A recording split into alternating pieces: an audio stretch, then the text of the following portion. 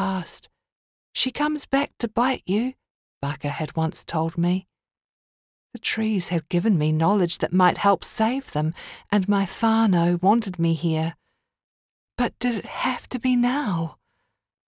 That night I cooked again potatoes, kumara, tinned tuna. Butter dripped from the vegetables, sparks spat heavenwards. Marshmallows melted on their stick. I sipped wine from my mug and might have dozed for a while in the firelit warmth.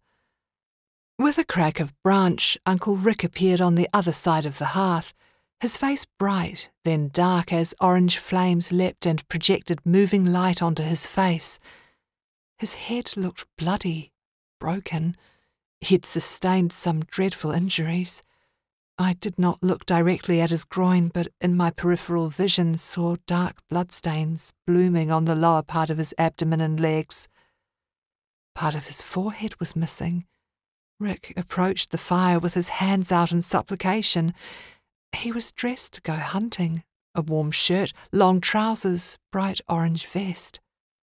Mila, he said, what are you doing in my dream? You're not dreaming. I'm real. I'm here. Put your hand in my wounds. Don't you pull that Bible stuff on me. You, of all people. Go away. You don't belong here. I need you to help me.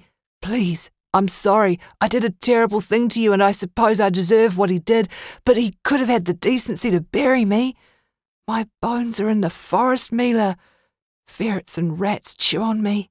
I want to be covered, not out in the open. This isn't my place. I don't belong, yet I can't move on.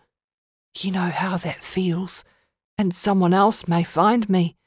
There could be trouble. I've caused enough pain and it's so cold.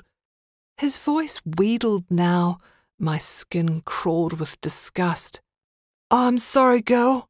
You and Kath are the only ones I could ask, and she's not got a good heart like you. You used to be the soft one, the kind one. Find me, Mila. Set me free. He was beginning to flicker more in the firelight. His voice crackled like flames. I wondered if he'd used a lot of energy to appear like this to me. Energy and a strange kind of courage.